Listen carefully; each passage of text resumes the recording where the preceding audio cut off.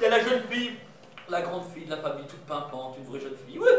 Mon oncle, mon oncle. À côté, il y a son père, un fermier, c'est le frère de John Wayne.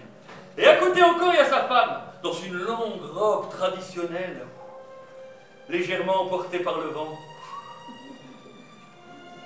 Là, vous inquiétez pas, on verra rien. En dessous, elle a un premier jupon, un deuxième, un troisième, un quatrième. Et derrière, elle est ligotée jusqu'au cou. Alors, oh, tu peux te lever tôt, tu voir quelque chose, hein oh. Elle s'essuie les mains sur son tablier, ma mère. Ah Elle vient de venir faire la lessive, comme moi.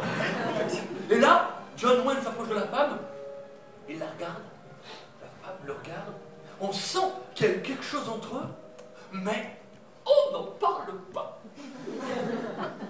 Le mari regarde les deux, on sent qu'il se doute qu'il y a quelque chose, mais on ne dira rien. Mon père regarde ma mère, ma mère regarde mon père. Ah, on sent bien qu'il y a quelque chose, hein. Mais on n'en saura jamais